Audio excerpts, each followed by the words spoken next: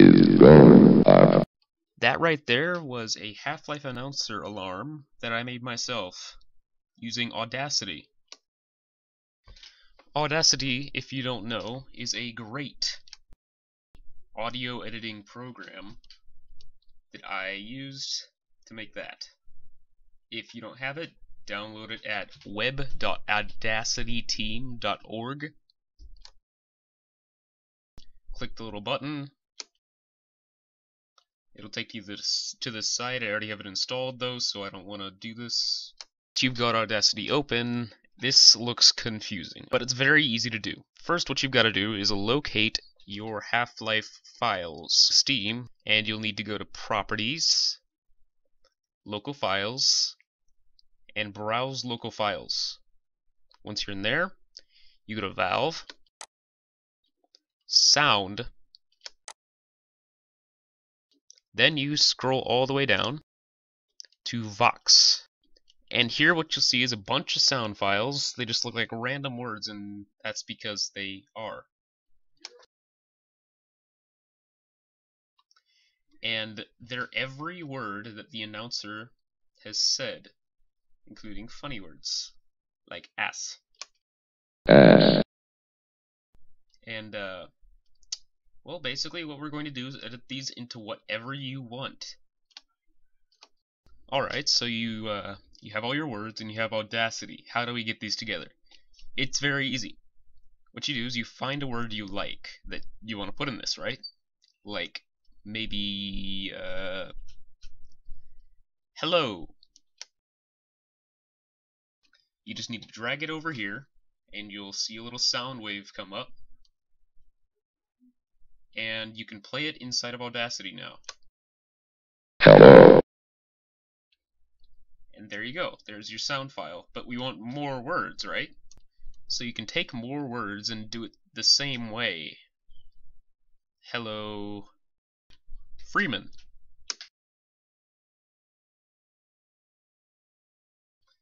And now you've got it both in Audacity. Hello. But that's both words at once. That's not what we want. Now what you need to do is select what you want to move. Here I'll select this by dragging, clicking and dragging on the waveform. And then you press Control X. Click where you want it, like in the uh, time scale here. I want it here after hello, so I clicked there, and then hit Control V, and you've copy pasted it where you want.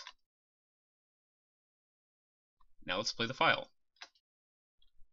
Hello, Freeman. Hello, Freeman. Ha. and now you've got your sound together. Hello, Freeman. And we want to get it out of Audacity, right? So you go from File. Whoops. Export audio.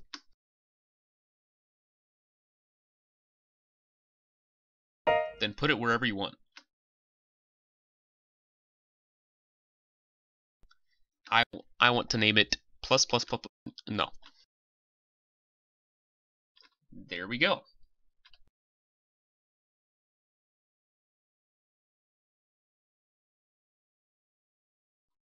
And now it's done. Now when you export, you might want it to be an MP3 file. And it'll tell you it needs a lame enc.dll. And it will have a little download link for the DLL that it needs, right? So you go to the website. And you might not know what to do. What you need to do is you go all the way down here to download LAME and FFmpeg for Windows. Click links below. Then you click on the zip option down here. libmp3 lame win-3993.zip. You click on it. Then you extract it anywhere you want, browse to the file, and hit OK. And that should be it. Let's play the file that we made in this. Hello, Freeman. And there you go. You can also put it into uh, any alarm software you want if it supports uh, adding any alarms with custom sounds. I personally have this one.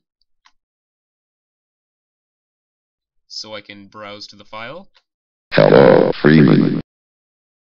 Okay, and this is allowed. This is uh, added to my alarm.